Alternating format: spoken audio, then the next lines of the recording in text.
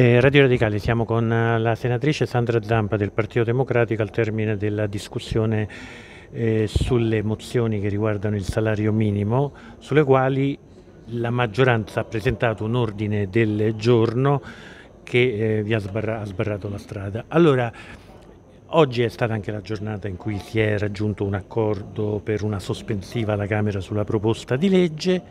Che cosa sta succedendo?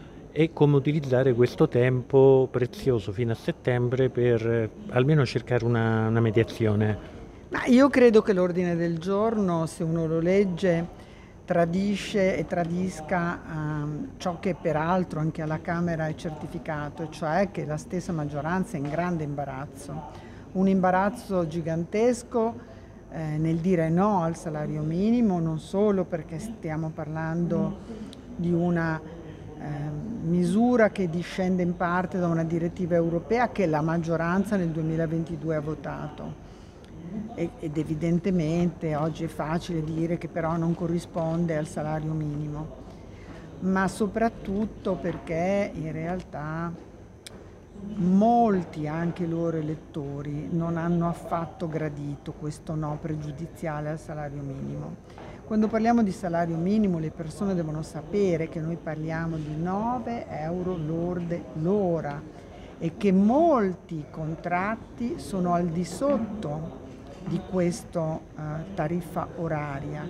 Io ne ho citate alcuni, ehm, dal rider che va in bicicletta che guadagna meno di 9 euro lordi l'ora, a chi fa le potature nella manutenzione, nella pulizia, sta al di sotto, chi svolge servizi di vigilanza sta molto al di sotto e questo in un contesto in cui l'Italia, tra le altre cose, ha i salari tra i più bassi eh, in Europa.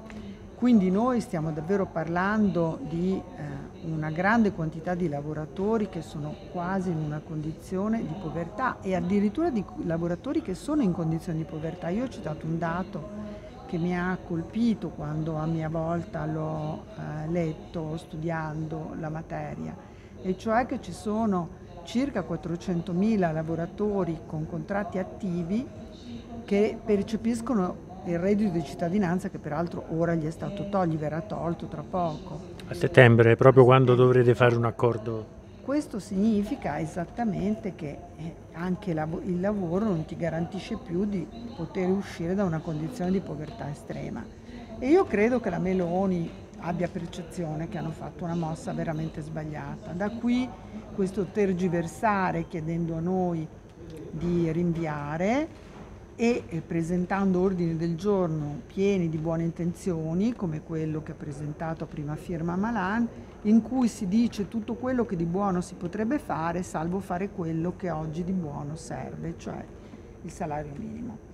Naturalmente credo che il mese che verrà, eh, che il tempo che abbiamo davanti debba essere consumato in un confronto serrato, di certo noi non torneremo indietro, io credo che, non lo so, non credo che esista una persona in Italia che pensa sinceramente che si possa pagare meno di 9 euro l'ora un lavoratore. Oggi aprendo, la tra- sì, oggi aprendo la trattativa o comunque dando la disponibilità, la Meloni ha detto ma perché la sinistra non ci ha pensato prima, visto che era Beh, una guardi, grossa urgenza? Siccome questo, eh, adesso io d'ora in avanti censirò le volte in cui loro prendono la parola e dicono perché non l'avete fatto voi, oppure eh, noi siamo arrivati adesso, a parte che questo adesso è passato già un anno, segnalo, ci siamo sì, quasi, siamo a settembre, quasi. ecco, siamo a un anno. Però quando io in aula ho chiesto eh, esattamente questo, quando pensate di essere responsabili delle vostre scelte, mi hanno detto tra cinque anni, quindi avverto gli ascoltatori di Radio Radicali, i cittadini italiani, che loro risponderanno delle loro decisioni tra cinque anni.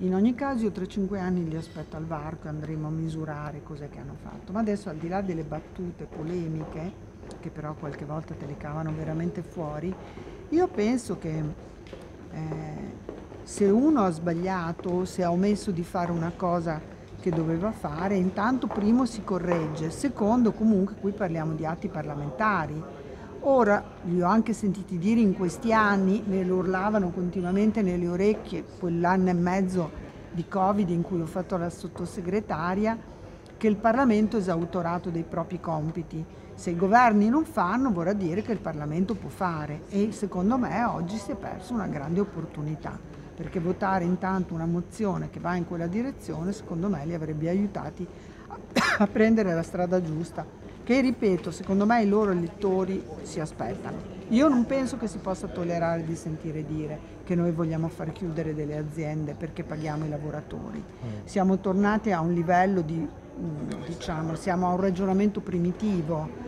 che eh, perché poi se li facciamo schiavi guadagniamo ancora di più, apriamo delle altre aziende evidentemente, se lavorano poi gratis ognuno di noi può aprire un'azienda. Ecco. Certo. Io trovo che sia veramente sconcertante. Comunque, ecco. i, Mi i... piacerebbe che mm, gli italiani ascoltassero il dibattito che si è svolto oggi in aula. Un'ultima nota, il fatto che il Fondo Monetario Internazionale Ma... dia alla nostra produzione più in alto di quello che si potesse pensare, significa secondo lei che i privati i soldi un po' ce li hanno?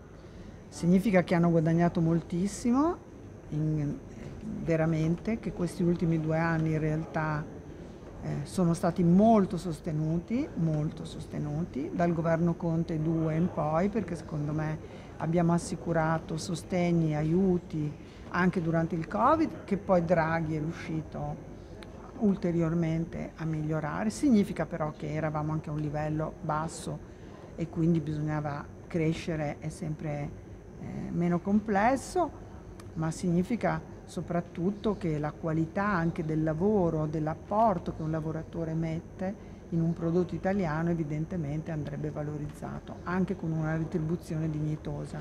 Qui parliamo di dignità del lavoro. Grazie alla senatrice Sandra Zampa del Partito Democratico.